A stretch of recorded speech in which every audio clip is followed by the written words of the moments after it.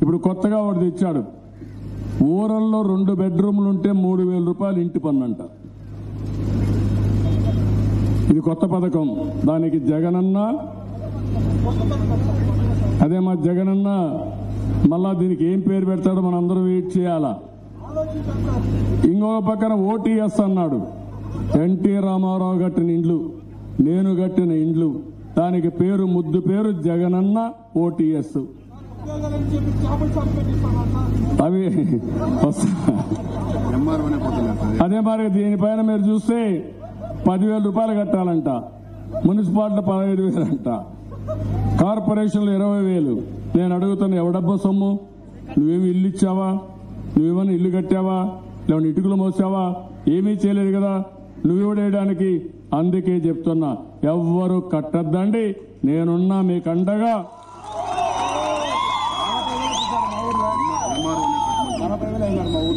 సొంతంగా అన్నాయండి ఎవ్వరు కట్టద్దండి.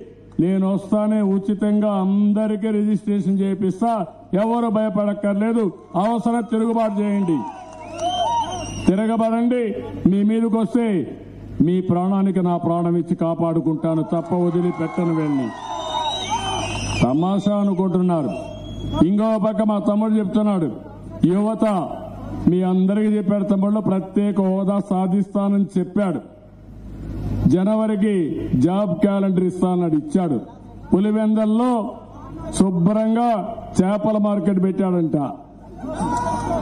మీ అందరికీ మార్కెట్లో చేపల మీద వ్యాపారం ఇస్తాడంట మీ అందరికీ. నాకే నవ్వు వస్తా ఉంది ఆయన ఒక సీఎంగా ఉండే వ్యక్తి మాట్లాడిన మాటలు మీరు చూస్తే చేపలు తింటే ఆరోగ్యం పులివెందల ప్రజల అదృష్టం ఇక్కడ కూడా చేయాల్సిన అవకాశం వచ్చింది. ఇదే తమ్ముడు ఇది ఇది అనా నేను అడుగుతున్నా సినిమా టికెట్లు. సినిమా టికెట్లు మాత్రం నియంత్రణ చేయాలి. భారత సిమెంట్ మాత్రం నియంత్రణ చేయకూడదు. భారతీయ సిమెంట్ ఎవరిది తమ్ముడు? ఎవరిది?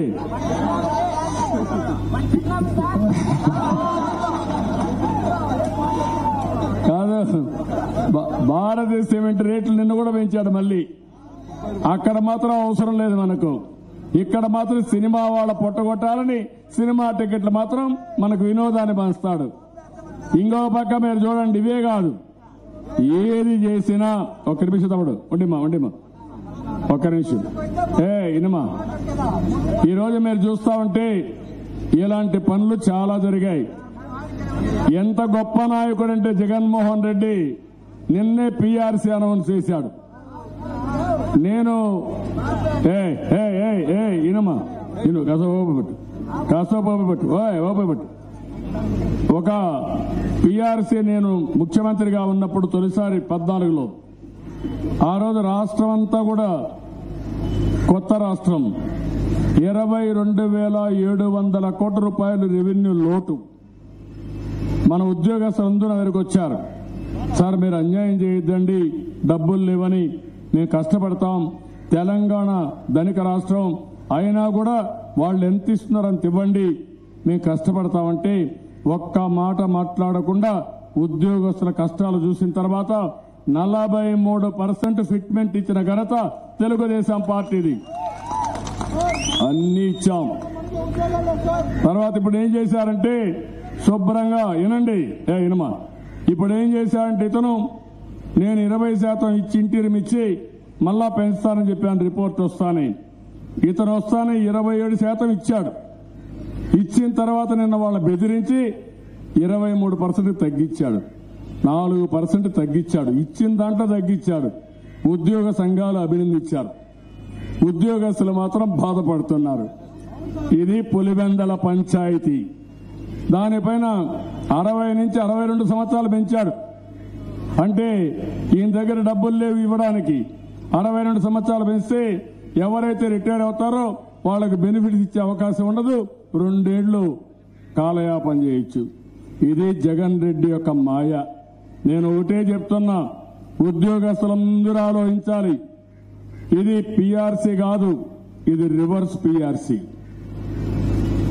మామూలుగా జగన్ రెడ్డి ఏ పని చేసినా తుగ్లక్ చర్యలు తప్ప ఎవ్వరికి లాభం వచ్చే పని ఏది చెయ్యడు చెయ్యడు చెయ్యడని చెప్పి మరొకసారి మీ అందరికీ చెప్తున్నా.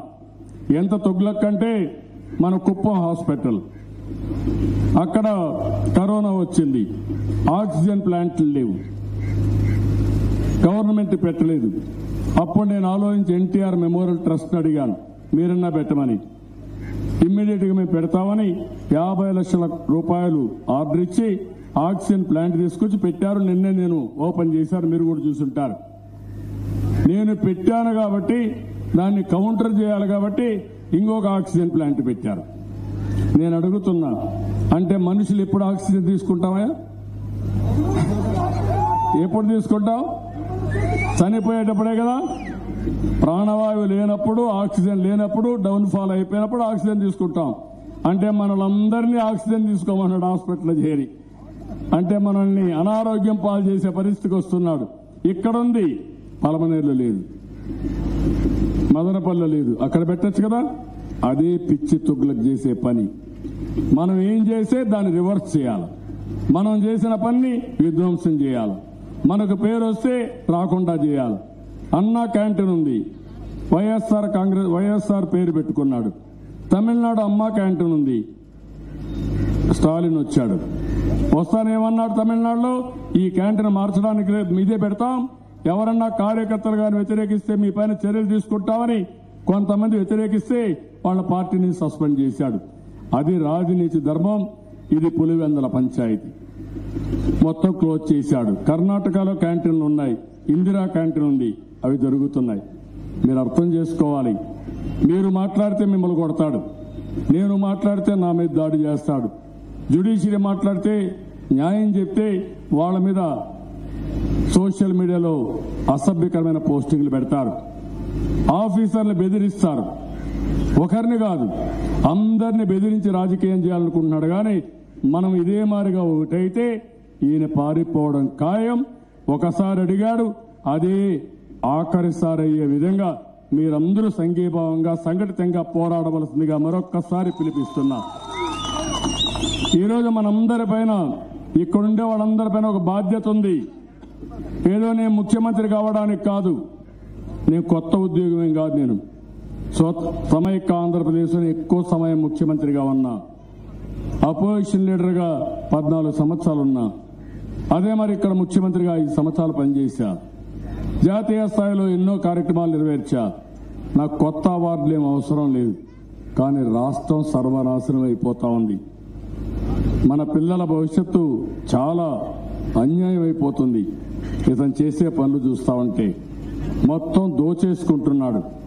అప్పులు చేస్తున్నాడు. ఏడు లక్షల కోట్ల రూపాయలు అప్పు అయింది స్వాతంత్రం వచ్చినప్పటి నుంచి రెండు వేల పంతొమ్మిది నేను ముఖ్యమంత్రిగా ఉన్నంత వరకు మూడు లక్షల పద్నాలుగు వేల కోట్ల రూపాయల అప్పు అయితే ఈయన వచ్చిన తర్వాత మూడు లక్షల ఎనభై ఆరు వేల కోట్ల రూపాయల అప్పు చేశాడు. మీరు గుర్తుపెట్టుకోవాలి ఎవరు కడతాడు అప్పు? జగన్ కడతాడా? ఆయన ఎక్కుంటాడు కూడా మనకు తెలియదు. రేపు ఎక్కడికి పోతాడో కూడా తెలియదు. అలాంటి వ్యక్తి ఎవరు కట్టరు. కట్టేది మీరే కట్టుకోవాలి.